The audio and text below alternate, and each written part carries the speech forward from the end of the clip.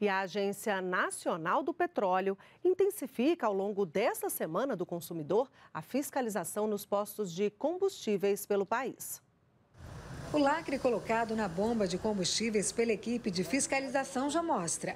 Este posto, na zona oeste de São Paulo, estava com irregularidades.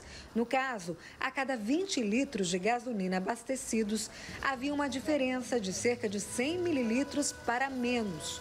A legislação permite até 60 mililitros e os fiscais estão atentos a mais detalhes. Estamos verificando o teor de etanol anidro na gasolina, que deve estar, de acordo com a especificação, em 27%, com uma tolerância de mais ou menos 1%. Além disso, fazemos a verificação documental, se o preço identificado na bomba é o preço que está sendo anunciado para o consumidor. Os fiscais da Agência Nacional do Petróleo, ANP, foram às ruas da capital paulista, junto com agentes do Instituto de Peso pesos e medidas, o IPEM, do PROCON e Polícia Civil de São Paulo. O foco era fiscalizar postos de combustíveis denunciados por consumidores.